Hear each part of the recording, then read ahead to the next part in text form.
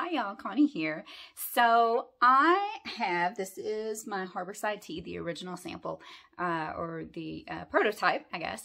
And I thought that I would bring you along with me while I wash and reblock it. So this will be the third or fourth time that I've washed it.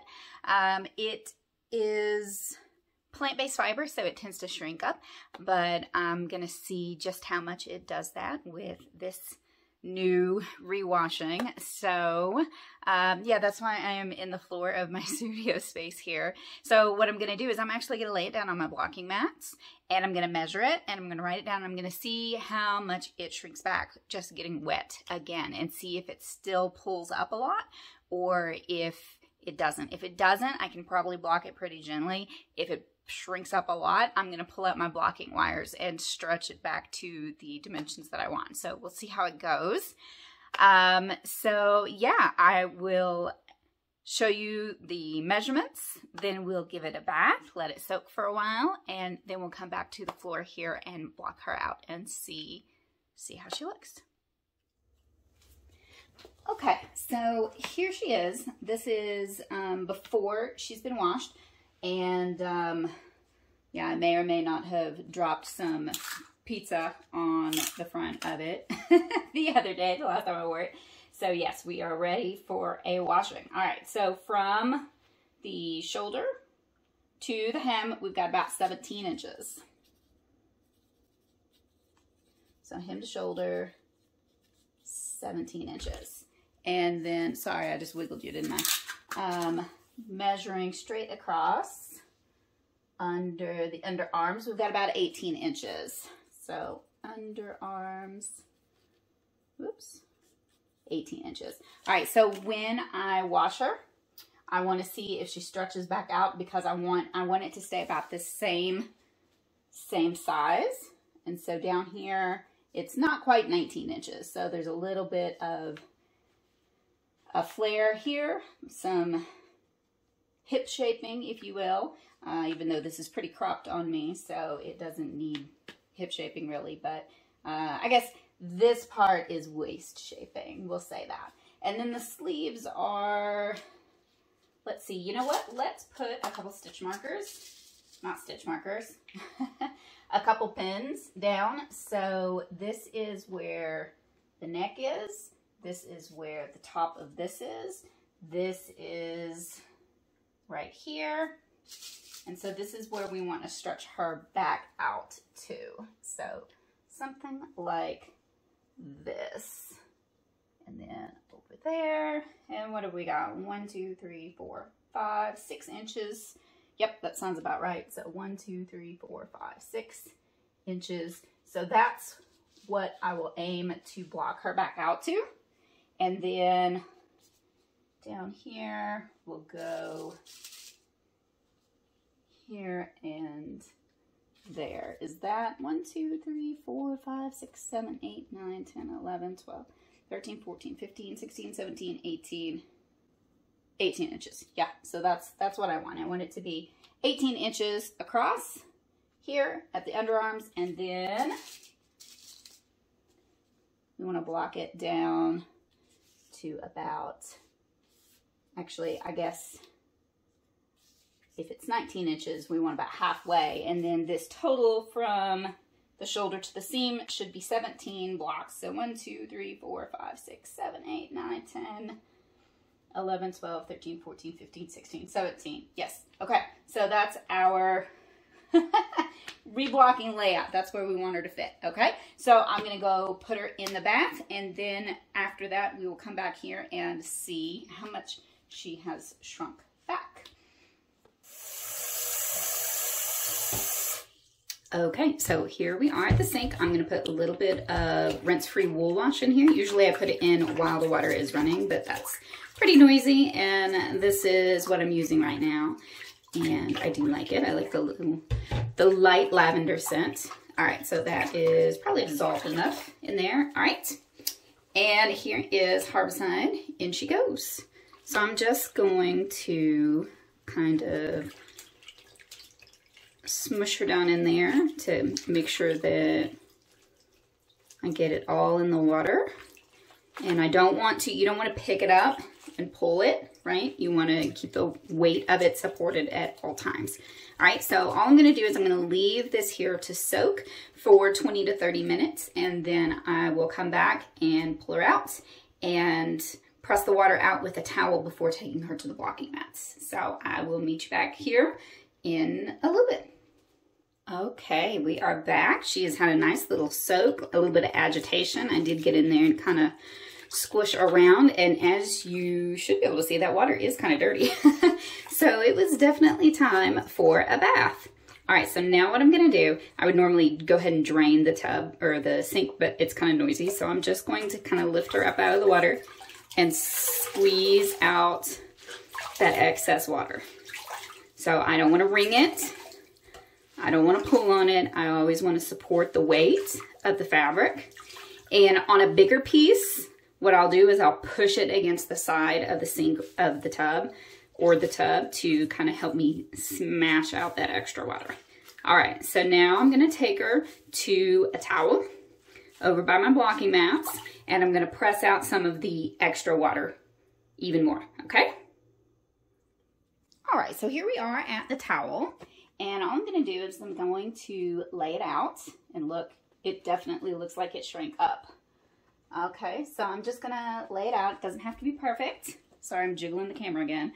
I'm to lay the towel over on top of it. I'm to roll it up in here. And then I'm going to press out the extra water.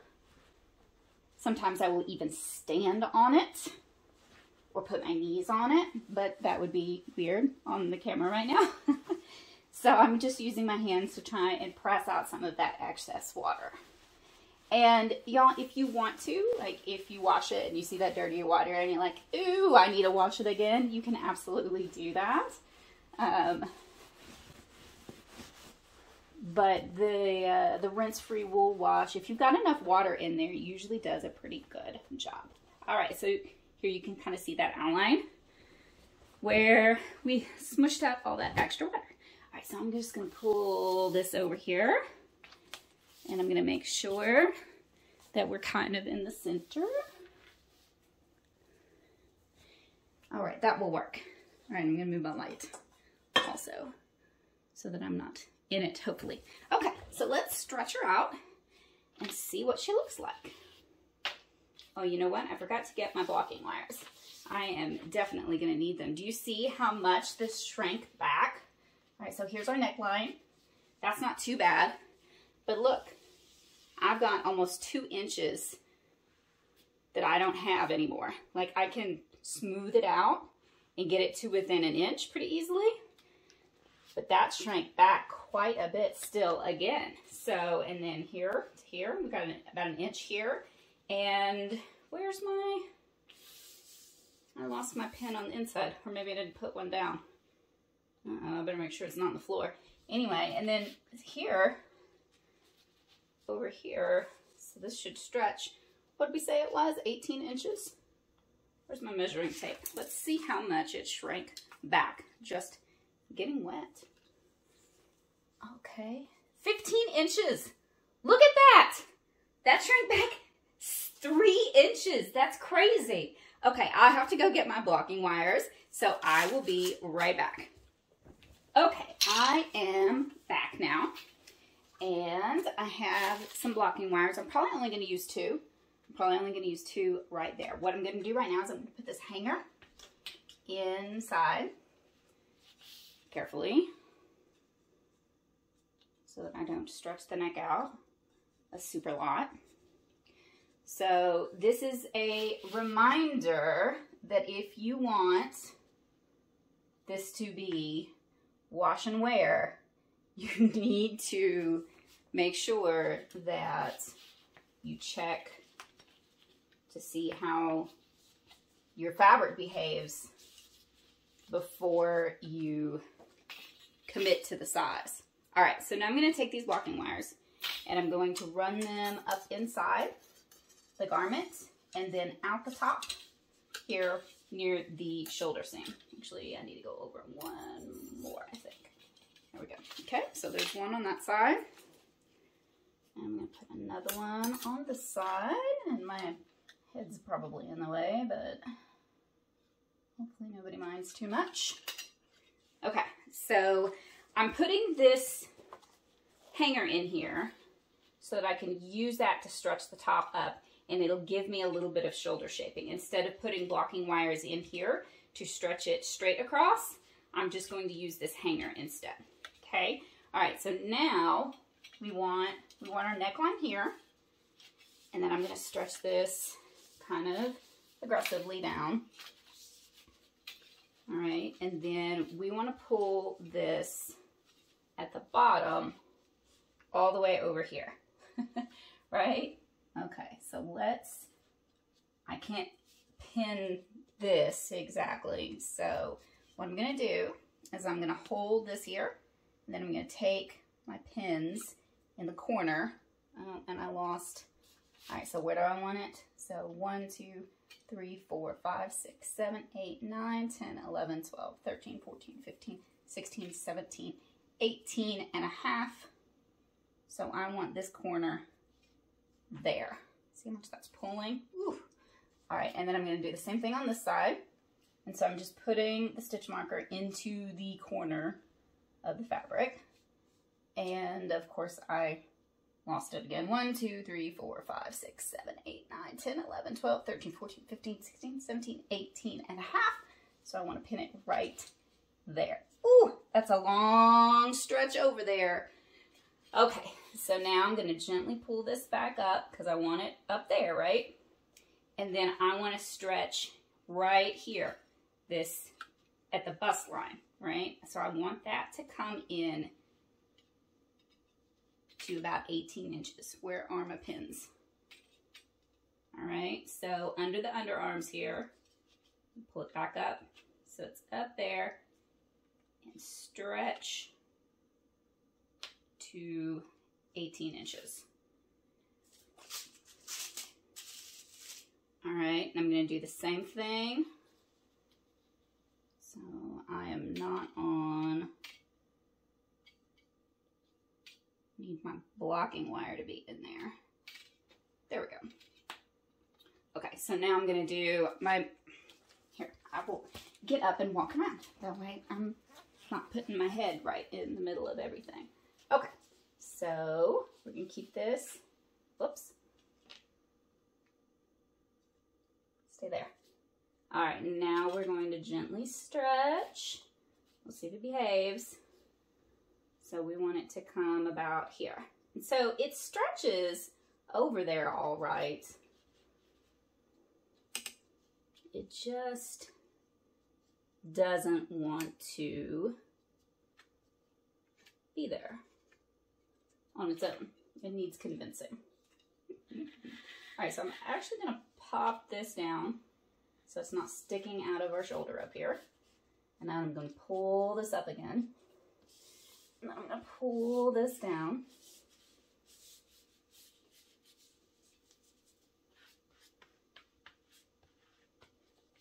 All right, and then I need you to stay at 18 inches, please. Okay, so that'll do there. And then this one pulled over again, so I'm gonna stretch it, and my big head's in the way, isn't it?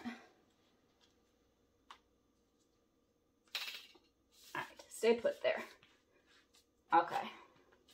And we're going to push this down. Okay, so there, now we're not pulling down on our shoulder anymore. Okay. So that'll, that will work. All right, and then I want to open these sleeves back up a little bit. So I'm just gonna kind of stretch them.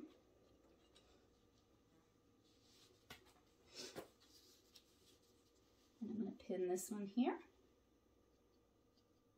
It doesn't really need pinning, I don't think. But that'll hold it. And here, because I do need this opening in the sleeve. You know what? I think I'm going to change my mind about this hanger. And I'm going to use blocking wires after all to these shoulders. And then I will just, I'll show you what I'm going to do.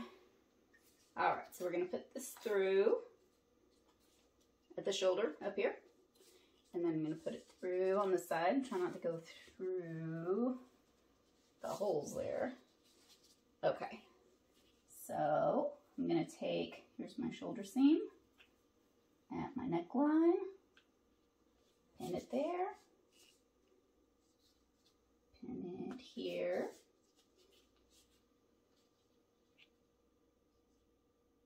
All right, so I'm just going to stretch this up. Right. And let's get uh, some blocking wires for blocking these guys to make this sleeve straight again. So there's one and two. We'll throw one in here to keep that sleeve nice and open. Okay, so there we go. Yeah, that's looking all right. This one doesn't want to stay either. Let's put another one in here. I'll make it a little bit stronger there. Okay, and come back over here on this side. Work on this side again. And I'm scooting the whole menagerie. Here, do I have this neck centered? That's a good question. So one, two, three, four. Here, one, two, three, four. So we'll put this right there. Stop scooting. Okay, now just need to pull this. So we want our sleeve to be here. Whoops. I didn't realize, or I was hoping that this wouldn't become a full reblocking, but this will show you how you can coax some extra extra inches out of your fabric if you need to. And if you are using a wool yarn instead of these plant fibers, it should not shrink back like this. So this should not be an issue for you if you're using wool. But like I said, if you want it to be a wash and wear project, you're using plant fibers, plan on it shrinking back. This shrink back three inches straight across it. It was only 15 inches wide, right? And I need it to be 18 inches wide. So that's a total difference of six inches in the circumference. That's bananas. That's a lot. All right. So let's actually, let's pull this up and here. So see, I'm kind of mimicking that shaping that we added with the hanger with my blocking wire, right? So that I get just a little bit of a shoulder in here. And then we leave that scoop there. Okay, and the last thing that I can do is I can stretch. So I kind of need to pull both layers here. And so see, it has no issue stretching down there. It just doesn't want to do it on its own. So, oops, got to talk it into it. All right, so we'll pin that out along the bottom. And this is why I didn't wash it until I dripped pizza sauce on it. oh, and my AC just kicked on. Sorry if there is a, a rumbling in the background. I will wrap this up. I am almost done. And so this is pretty much the same way that I blocked it originally as well. because I did have to get pretty aggressive with it. So if you like the fabric to be wide open, like if you like the the the spaces in the granny squares to stretch stretch open, um, then you might you might like this look. And if you don't mind the blocking, or if you are not a messy eater like I am apparently, then then you won't have to wash it quite so frequently. All right, so here I have, this is my bust measurement. Let me just get my, oops, I missed right here. We want the sleeve open. There we go. So let's make sure that I'm still on target. So up here, we've got 17 and a half inches. And I had 17 hem to shoulder. So yeah, I stretched it up from this line. I stretched it up about half an inch further here than I had before. So that means that it will probably fall back down with wear. But it's already done, so we'll leave it there. All right, and then straight across. Hopefully my head's on the way. All right, we've got her back to 18 inches again under the arms. So that was my goal. And yeah, that's pretty much how I originally blocked it as well. So if you want to go to all of those lengths for blocking, then that's how I did it using the blocking wires through the shoulders and the sides. And then you can add, so this gives you a little bit of waist shaping, letting this curve in here. And I probably don't need to pin those corners out quite so aggressively. So I will move that pin there. I do want it to hold the side, but I don't need it to be pinned out to points there.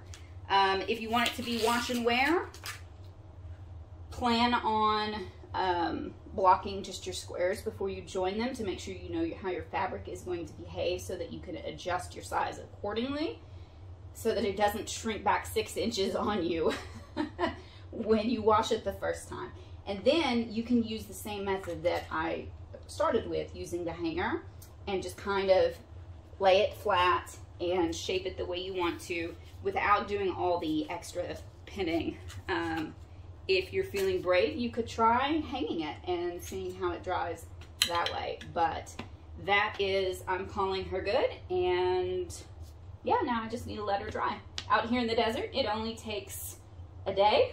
Um, if you are in a humid environment, it may take a couple days because it is a double-sided fabric.